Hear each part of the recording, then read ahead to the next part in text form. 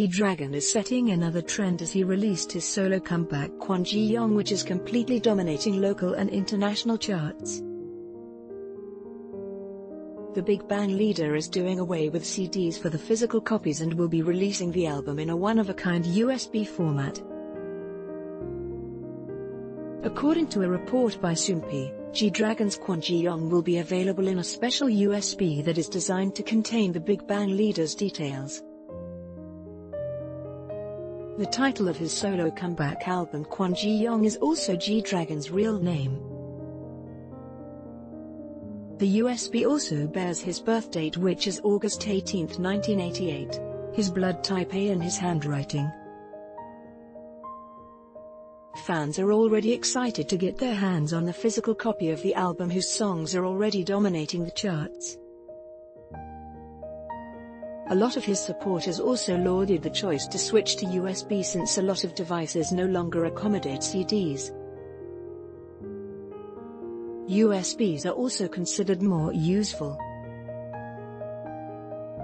G-Dragon, upon releasing the album last night was able to achieve an all-kill on all six real-time charts last night barely an hour after the album's release. All of his five songs have also dominated the charts. The top three spots of the Melon chart was dominated by G-Dragon songs while all G-Dragon songs from his latest album occupied the top five spots in Genie. G-Dragon is also breaking records set by fellow Korean artists PSY and BTS on iTunes. G-Dragon's Kwon Ji-yong quickly skyrocketed to number one in the iTunes charts of 39 countries including the US, Argentina, Brazil, Spain, Ukraine, Czech Republic, Colombia, Estonia, Finland, among others.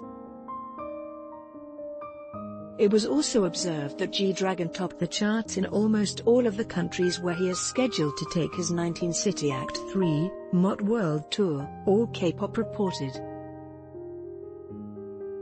The Big Bang leader released last night the MV for his title track Untitled, 2014 which came as a surprise because YG has earlier promoted Bullshit as the title track.